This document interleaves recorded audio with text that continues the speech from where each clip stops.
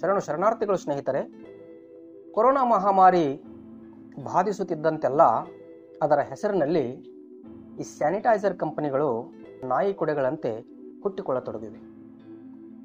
Sanitiser ಬಳಕೆಯ ಬಗ್ಗೆ ಒಂದಷ್ಟು ಮಾಹಿತಿ ಇವತ್ತಿನ ವಿಡಿಯೋದಲ್ಲಿ ಕೊಡುವುದಲ್ಲದೆ, ಈ ಕೊರೋನಾ ವೈರಸ್ಸಿನ ಮೂಲ ಗುಣಗಳನ್ನು ನಾವು ತಿಳಿದುಕೊಳ್ಳುವ ಅಗತ್ಯವಿದೆ.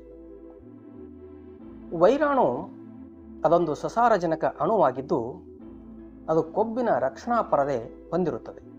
ಇಂಥ ವೈರಾಣು ಮನುಷ್ಯನ ಕಣ್ಣು, ಮೂಗು, ಗಂಟಲು ಮುಂತಾದ ಸೂಕ್ಷ್ಮ ಅಂಗಾಂಗಗಳ ಜೀವಕೋಶಗಳಲ್ಲಿ ಸೇರಿಕೊಂಡ ಮೇಲೆ ಅದು ತನ್ನ ಅನುವಂಶೀಯ ಪರಿವರ್ತನೆಗೊಳಗಾಗಿ ಮನುಷ್ಯನ ಜೀವಕೋಶಗಳನ್ನು ಆಕ್ರಮಣಕಾರಿ ಗುಣಕಗಳನ್ನಾಗಿ ಪರಿವರ್ತಿಸುತ್ತದೆ. ವೈರಾಣು ಒಂದು ಸಸಾರಜನಕ ಅಣುವಾಗಿರುವುದರಿಂದ ಇದನ್ನು ಸುಲಭವಾಗಿ ನಾಶಗೊಳಿಸಲಾಗದು. ಆದರೆ ಅದು ತನ್ನಿಂದ ತಾನೇ ಹಾಳಾಗಿ ಹೋಗುತ್ತದೆ. ಅದು ನಾಶಗೊಳ್ಳುವ ಅವಧಿಯು ವಾತಾವರಣದ ಉಷ್ಣತೆ, ಆರ್ದ್ರತೆ ಮತ್ತು ಅದು ಯಾವ ಪದಾರ್ಥದ ಮೇಲೆ ವಾಸವಾಗಿದೆ ಎನ್ನುವುದನ್ನು ಅವಲಂಬಿಸಿರುತ್ತದೆ. ವೈರಾಣುವು ಒಂದು ರೀತಿಯಿಂದ ದುರ್ಬಲವಾಗಿದ್ದು, ಅದು ಕೊಬ್ಬಿನ ತೆಳುವಾದ ಪರದೆಯ ರಕ್ಷಣೆಯಲ್ಲಿರುತ್ತದೆ. ಆದ್ದರಿಂದ ಅದನ್ನು ನಾಶಗೊಳಿಸಲು ಮಾರ್ಜಕ ಅಥವಾ ಡಿಟರ್ಜೆಂಟ್ ಯುಕ್ತ ನೀರು ಉಪಯೋಗಿಸಬೇಕಾಗುತ್ತದೆ.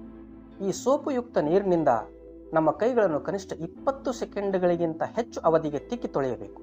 ಆಗ ಸೋಪುಯುಕ್ತ ನೀರಿನ ನೊರೆಯಲ್ಲಿ ವೈರಾಣುವಿನ ಮೇಲಿನ ಕೊಬ್ಬಿನ ಪರದೆ ನಾಶವಾಗಿ ಅದು ಸತ್ತು ಹೋಗುತ್ತದೆ. ಕೊಬ್ಬು ಬಿಸಿ ನೀರಿನಲ್ಲಿ ಬಹುಬೇಗ ಕರಗುವುದರಿಂದ ಮತ್ತು ಹೆಚ್ಚು ನೊರೆ ಉತ್ಪಾದಿಸುವುದರಿಂದ ಸೋಪನ್ನು ಬಿಸಿ ನೀರು ಉಪಯೋಗಿಸಿ ಕೈ ಮತ್ತು ಬಟ್ಟೆಗಳನ್ನು ತೊಳೆಯಬೇಕು. ಮದ್ಯಸಾರ ಅಥವಾ ಆಲ್ಕೋಹಾಲ್ ಸ್ಯಾನಿಟೈಸರ್ಗಳಲ್ಲಿ ಬಳಸಲಾಗುತ್ತದೆ. ಆದರೆ ಸ್ಯಾನಿಟೈಸರ್ಗಳಲ್ಲಿ ಬಳಸಲಾಗುವ ಮದ್ಯಸಾರ ಅಥವಾ ಆಲ್ಕೋಹಾಲ್ ಎರಡು ಬಗೆ. ಒಂದು ಐಸೋಪ್ರೊಪೈಲ್ ಆಲ್ಕೋಹಾಲ, ಇನ್ನೊಂದು ಇಥೈಲ್ ಆಲ್ಕೋಹಾಲ್.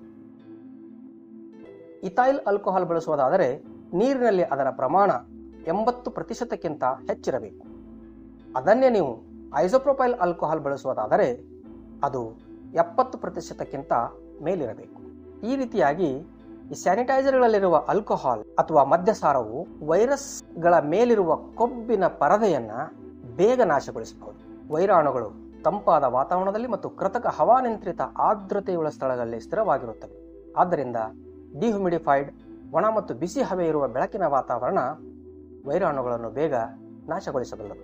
ಯಾವುದೇ ವಸ್ತುವಿನ ಮೇಲೆ ಬೀಳುವ ಯು ವಿ ಲೈಟ್ಗಳು, ಅಂದರೆ ಅತಿನೇರಳೆ ಬೆಳಕು, ವೈರಾಣುಗಳನ್ನು ಬಹುಬೇಗ ನಾಶಗೊಳಿಸಬಲ್ಲವು. ಈ ಅತಿನೇರಳೆ ಕಿರಣಗಳು ಒಮ್ಮೊಮ್ಮೆ ಮನುಷ್ಯನ ದೇಹದ ಕೊಲೆಜನ್ನು ಕೂಡ ನಾಶ ಮಾಡಿ ಕ್ಯಾನ್ಸರ್ ಕಾರಕವಾಗಬಹುದಾದ್ದರಿಂದ ಯು ವಿ ಲೈಟ್ಗಳನ್ನು ಜಾಗ್ರತೆಯಿಂದ ಬಳಸಬೇಕಾಗುವುದು. ವೈರಾಣುಗಳು ಆರೋಗ್ಯಪೂರ್ಣ ತ್ವಚೆಯಲ್ಲಿ ಸೇರಲಾರವು. ವಿನೆಗರ್, ಸ್ಪಿರಿಟ್ ಮತ್ತು ಓಡ್ಕಾಗಳು ವೈರಾಣುವನ್ನು ನಾಶಗೊಳಿಸಲಾರವು.